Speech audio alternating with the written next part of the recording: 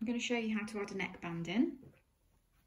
I've cut out the neckband for the desired length and width and I've sewn up the um, side seam. I've then folded it in half and just snipped the halfway point, not all the way through to the end stitch. And then when you fold your neckband together, just pop your seams in the opposite direction. Not the easiest to see on this one because it is black. Okay, and then pop a pin in there. And now we're going to find our halfway points and our quarter points. So if you put the um, raw edges together,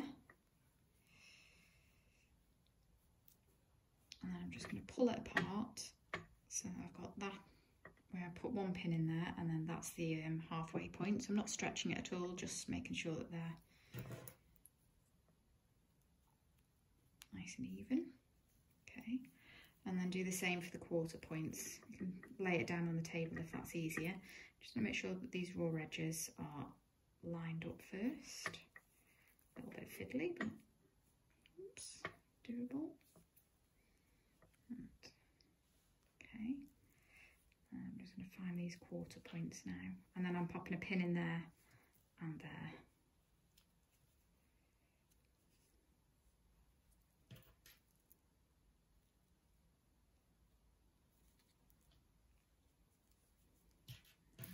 Side. Okay, so that's my neckband um, equally divided up. And now we've got to do the same for the um, neckline.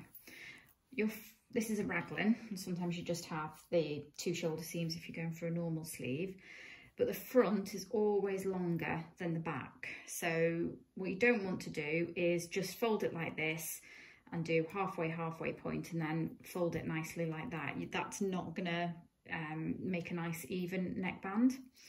I always try and firstly figure out where I'm going to put the join of my um, neckband.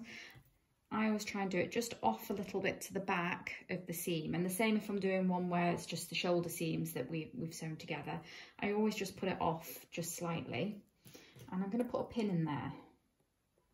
Okay, so that's where my neckband's going to go. Now, what I'm going to do is now open up my neckband like that so that it's nice and flat. See how I've done that? So just popped the two seams together and then just folded it nice and flat. Okay. And then where the fold, natural fold has gone on the other side, I'm going to pop a pin in there. And the same as what I did with the other neckband, I'm going to pop those two points together and then you should get your halfway points. Okay, so they're always just off of the, the shoulders there, and the same on the other side.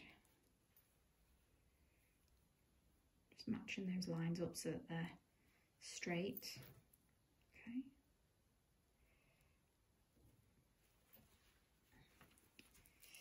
So now that I've done that, out which is your front and back again. Now I'm going to take my neckband and I'm just going to match up those quarter points now and I place the neckband over the top. You can have your item the other way round as long as you're placing your neckband right sides facing. So I'm just matching the pins, taking one out and putting the other one back in.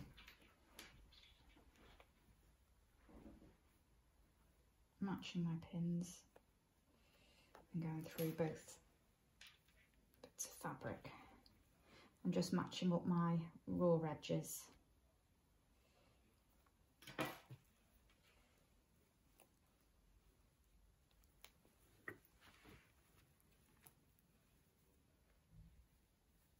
Okay, once I've done that, I'm going to take it to the machine. I've got a serger, so I'm going to use that. You can use just a normal zigzag on your sewing machine. It's absolutely fine.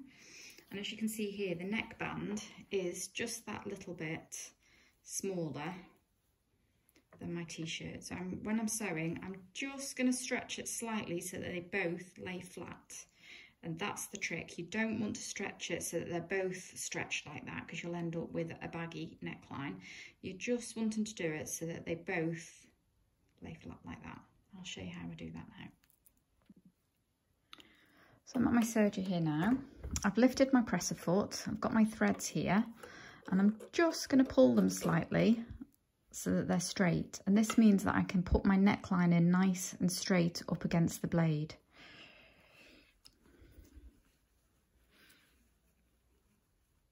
I'm going to start near the back um, seam, but I'm not going to start on that seam. I'm just going to pop it in there and then put my needles down. So as you can see here, I've got a little bit of loose fabric. So that's the t-shirt. It's obviously smaller, um, bigger than the rib, sorry. So I'm just going to stretch it slightly like that and just making sure that my seams all match up nicely. And that's all I'm going to do is just stretch it that tiny little bit and then start sewing. Stop when I get to my pin. And again, now just readjust.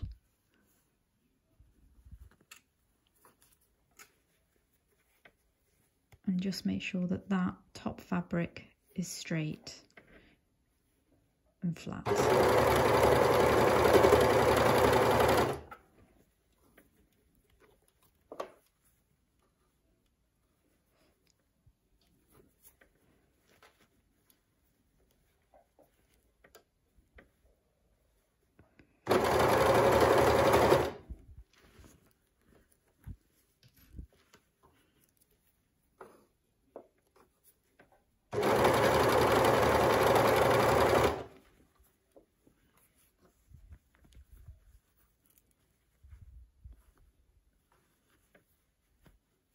It's all just about readjusting as you go. Nice and slowly, there's no rush.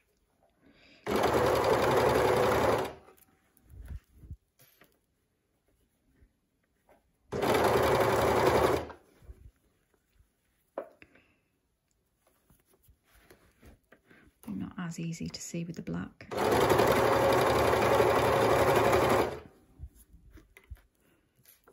Okay, so I'm coming back to where I started. I'm just going to go over the join and that might, it's a tiny little bit bulky, so you might just need to put your finger here on the left hand side and just help it through a little bit.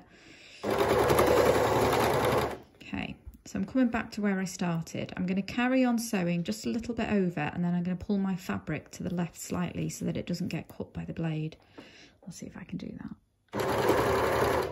Okay, now pull to the left a little bit, carry on sewing. I'm going to put my needle in the down position and then I'm going to lift my presser foot up slightly and then pull my fabric out while I'm while I've got my foot on the pedal. Okay,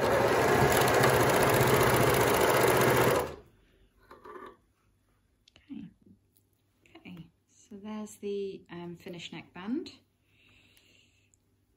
seam. And if I fold it out,